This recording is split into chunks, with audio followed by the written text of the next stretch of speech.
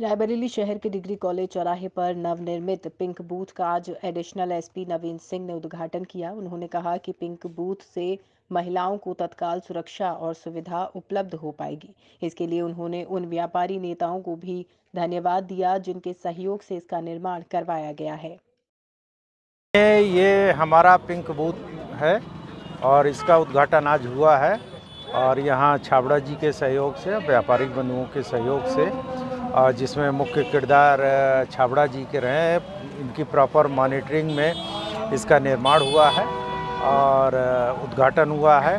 हमको गर्व है कि यहाँ के व्यापारिक बंधु और ये जितना भी सेफ़ सिटी के कॉन्सेप्ट के आधार पर जो भी कदम उठाए गए, सीसीटीवी का हो, पिंक बूथ का हो तो रायबरेली के व्यापारियों पे हमको नाज है कि पुलिस प्रशासन को आप लोगों ने बहुत अच्छी तरीके से सहयोग दिया है।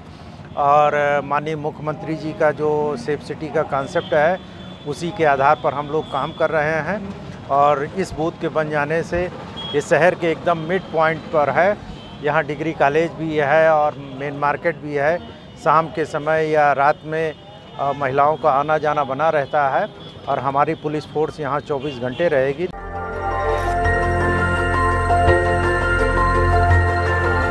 देखते रहिए डीवी भारती समाचार नज़र हर खबर पर।